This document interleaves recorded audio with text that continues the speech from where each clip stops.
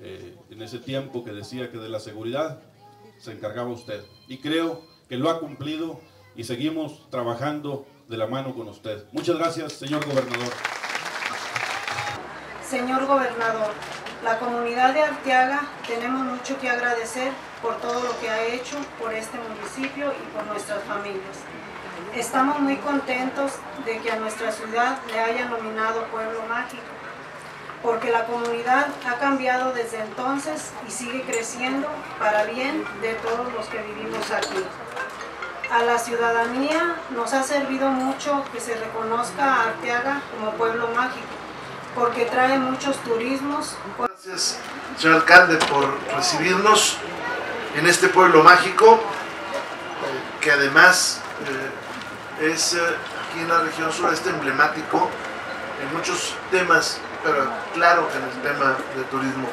Agradezco pues a quienes me acompañan acá al frente, agradezco a los trabajadores de la construcción que van a ser los encargados de esta obra que va a ser para bien de todo. El primero, en el tema de turismo, somos ahora un estado que está recibiendo visitantes.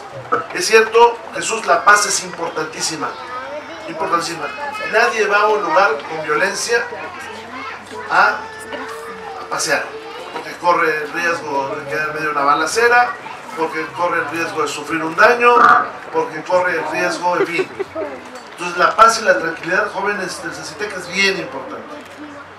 Quienes vinieron a robarnos la paz eran delincuentes, eran malhechores, que trataban de controlar el tráfico de la droga y de pasadita, pues dañar a la comunidad.